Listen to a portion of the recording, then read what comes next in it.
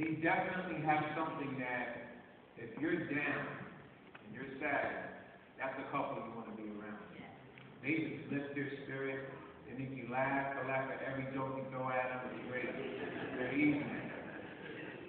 And so I just want to thank them for allowing me and my wife to walk with you in counseling. It's been an amazing experience for us, and I have no doubt that God is going to use you too for His glory. Um, I want to read a scripture in Ephesians 5, verses 25 through 33.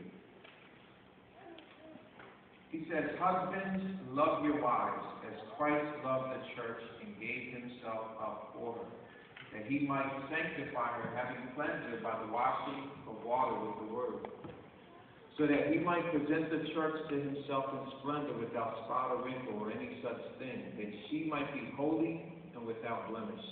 In the same way, husbands should love their wives as their own bodies. He who loves his wife loves himself. For no one ever hated his own flesh, but nourishes and cherishes it, just as Christ does the church, because we are members of his body. Therefore, a man shall leave his father and mother and hold fast to his wife, and the two shall become one flesh. This mystery is profound, and I am saying that it refers to Christ and the church. However, let each one of you love his wife as himself, and let the wife see that she respects her husband. Of course, marriage, uh, a lot of people don't think of marriage as being momentary, but it is.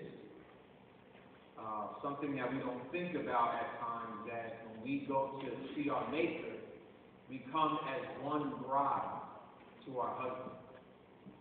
So ultimately, the purpose of marriage is to reflect God and His character to His church.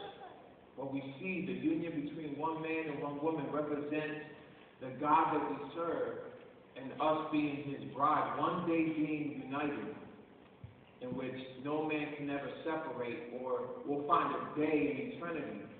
If there's a day in eternity, we'll, be, we'll have that time where we'll never be separated from Him.